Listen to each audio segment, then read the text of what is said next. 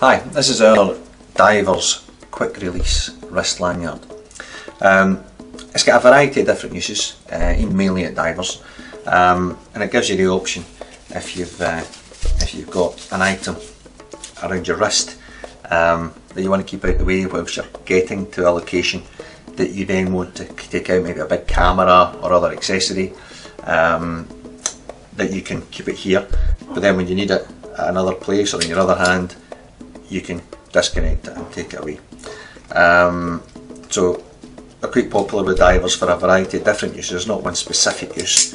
But if that's what you need to do, if you need to have it here, travelling to and from a wreck location or wherever it might be, and then when you get there, you have a different requirement. It might be a torch, it might be a, a whatever, uh, another piece of equipment. Then you can release it and then put it back when you need to. So on this end, it's got a, a, a, a split ring for attaching and another little lanyard if that suits it better you can put things through there and then tighten it up.